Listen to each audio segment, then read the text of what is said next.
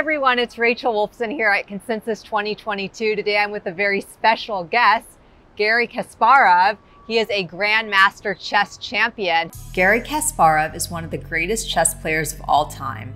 At only 22 years old, he became the youngest ever world champion by defeating Anatoly Karpov in a legendary match.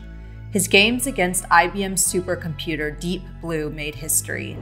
After leaving professional chess, Kasparov dedicated his life to politics and has now embraced crypto as a tool to promote human rights across the world. Garry, in terms of financial freedom and digital assets, what are your thoughts there?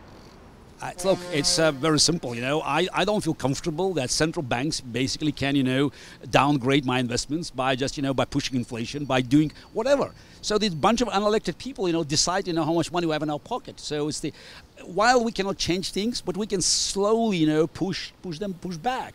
And while you know you hear a lot of talks about oh, but bad guys use it for money laundering. Money laundering did exist, you know, from the day we invented money, but it was always privileged for big guys. Right now, you have average person. And just you know using this using crypto uh, just as as the as the um, safe transaction. Um, and let's not forget you know it's we're in america. You have the free world but you have unfree world and it's about 60% of people on our planet living in countries with oppressive regimes and for them, it's just the only opportunity to, to, to survive, whether it's Iran or in Afghanistan or now look at Ukrainian war. So much money is being now shifted to Ukraine in, in, in, in, in crypto. You have Nigeria, the, the protests in Nigeria, Zimbabwe, Venezuela, Hong Kong. So again, overall balance, you know, tells us that the crypto is, is, is a big liberator. And what are your thoughts on the market today? I know a lot of people may think that we're in a bear market because the price of we Bitcoin. Are. So what? But again, people complain about about uh, uh, coins losing value. Let's separate two things.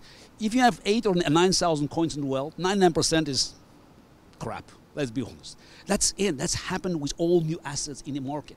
But when you look at the Bitcoin and ETH, for instance, they fluctuate with the market. Yeah, okay, they lose a bit more, but they gain more. But that's exa- that shows you they're already being integrated into the financial system. And you know, if you make an investment, yeah, you higher, higher the benefits, higher the risk. So if you wanted to make, you know, tons of money and invest it in Terra and Luna, sorry, you know, this is, but is it new? No. This is the whole history of the stock market is about, you know, just ups, up, up and down. It's about people making tons of money and losing a lot of money.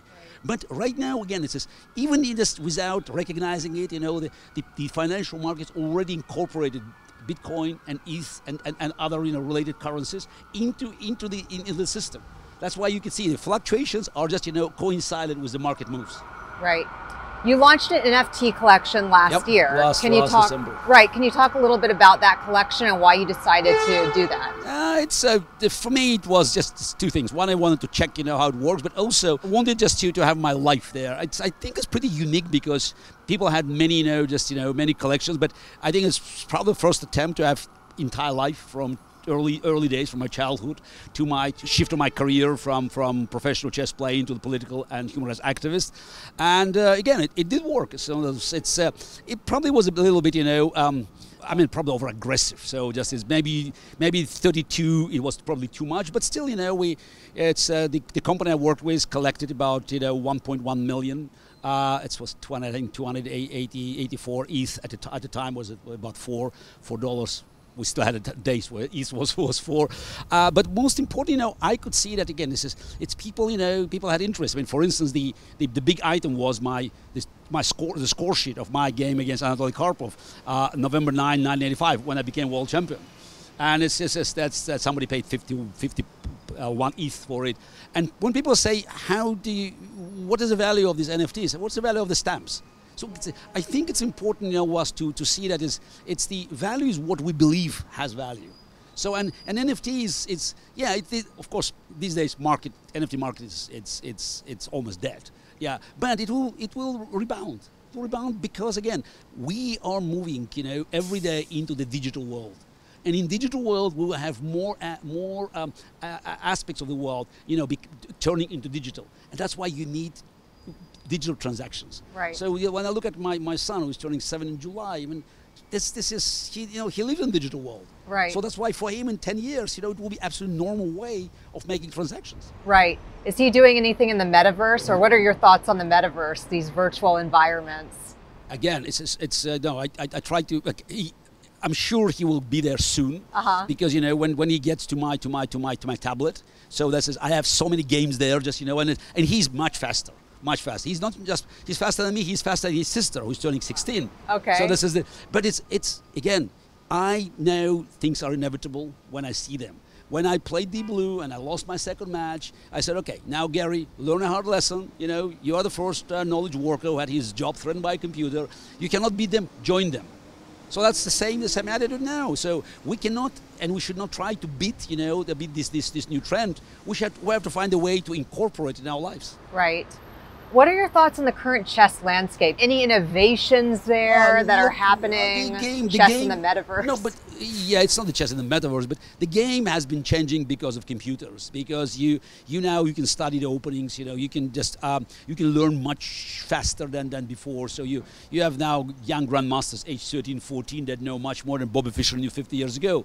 Yeah, it's it's chess is a part of of, of our society. So and uh, it's actually our social life, and that's why every every change you know that we see you know um, uh, due to the machines um, uh, intervention. So chess also absorbs it, and, and actually it's, it's it's a pretty good you know indicator. So how to how to cooperate with machines. So how to how to up- up- update your style. So and um, and the new generation led by Magnus Carlsen, current world champion, they are just they're different players.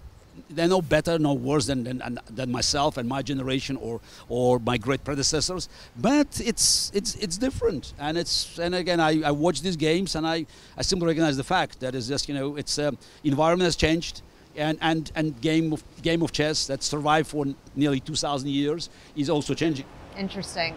Garry, any final thoughts before we end the interview? Thoughts on consensus or thoughts on the blockchain and crypto space? Just what are your final thoughts? Um, no, my, it's a, I'm an optimist. I'm an incorrigible optimist by nature, and I think we are we are seeing the future, and it's it's in our hands how we shape it. Great. Wonderful. Well, thank you so much, Garry. It's been a pleasure. Thanks for inviting me. Thank you.